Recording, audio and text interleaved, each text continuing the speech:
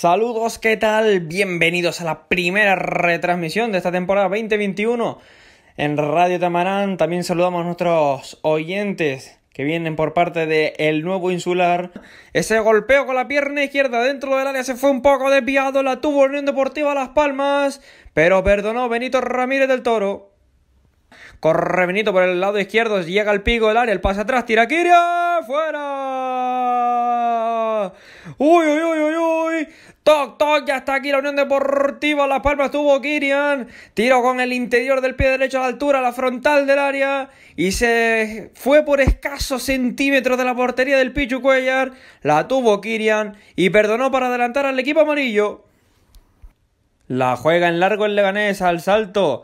Las dos formaciones se le acaba haciendo el Leganés. Sigue Dani Ojeda, mante Dani Ojeda, tira pierna izquierdo. ¿Para dónde Álvaro Valles? ¿Cómo se estira el gato de Sevilla? Y puso la mano donde pocos lo hacen para enviar la córner. En la última jugada de la primera mitad. ¡Qué paradón de Álvaro Valles! Que recibe en el centro del campo Javier Avilés, el recién entrado, el dorsal número 14, se anima con la conducción, sigue Javier Avilés, se marcha de uno, también se va de Dani Castellano, que alguien lo pare, es un 2 para 1, llega Itami, comete la falta, ay, ay, ay, ay, me da que esta va a ser la segunda cartulina amarilla en el partido para el capitán de la Unión Deportiva Las Palmas, efectivamente lo es, y con ello verá la cartulina roja Las Palmas con 10, juega el Leganés en zona defensiva, la recibe Rodri Tarín desde su propio campo. Balón en largo. Uy, qué pase. Salta Dani Castellano. No llega Dani. Ojos el balón. El centro atrás. Ya Juan Muñoz y gol del Leganés.